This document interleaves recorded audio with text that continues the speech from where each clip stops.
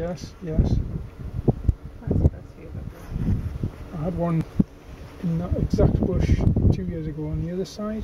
And it was sub sub singing for ten minutes.